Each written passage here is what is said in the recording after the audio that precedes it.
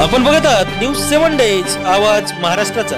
संगमनेर तालुक्यातील धांदरफळ येथील एका वयोवृद्धाचा झालेला मृत्यूबाबत सरकारी अहवाल येण्यापूर्वीच अफवा नको. आता बघूया सविस्तर वृत्त. संगमनेरमध्ये दोन वेळा हॉटस्पॉट घोषित केले होते. आणि प्रशासन हॉटस्पॉट का केले याचे गूढ अजूनही कायम आहे. त्याचे उत्तर अजूनही संगमनेरकरांना मिळाले नाही. आणि काल रात्री बारा वाजता संगमनेरचे हॉटस्पॉट उठले जाईल. यातच धांदरफळ येते.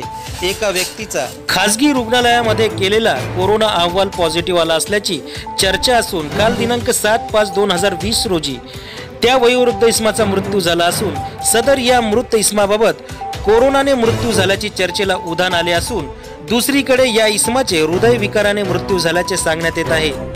परंतु हा रुग्ण संगमनेर शहरातील एका नामांकित डॉक्टरांच्या रुग्णालयात तीन दिवसांपासून उपचार घेत होता.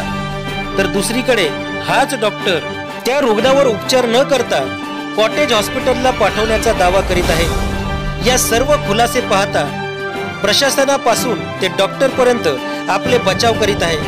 परंतु सदरील हॉस्पिटलमध्ये सी सी टी व्ही कॅमेरे असल्याचे जरा भान त्यांना आहे की नाही हा एक प्रश्नच पडला आहे. तेव्हा या मयत इस्माचे पुणे येथील ससून रुग्णालयानं रुग्णालयातून रिपोर्ट येईपर्यंत कोणीही तो पॉझिटिव्ह असल्याचा अफवा करू नये असे कोणी करत असेल तर प्रशासनाने याबाबत खमकी भूमिका घेऊन कठोर कारवाई करावी. केवळ धनदांडगे व समाज पाहून प्रशासनाने लोटांगण घेऊ नये अशी अल्पसंख्याक समाजाकडून मागणी होत आहे. आमचे प्रतिनिधी थेट सुप्रीम कोर्टात आव्हान देणार. संगमनेर शहरात प्रशासनाचे खास करून अल्पसंख्याक समाजाचा वाढीत कोणत्याही कारण नसताना केलेला हॉटस्पॉट बाबत रिपोर्ट मुझफ्फर शेख हे सुप्रीम कोर्टात याचिका दाखल करणार आहेत. तर बघत राहा न्यूज सेवन डेज आवाज महाराष्ट्राचा.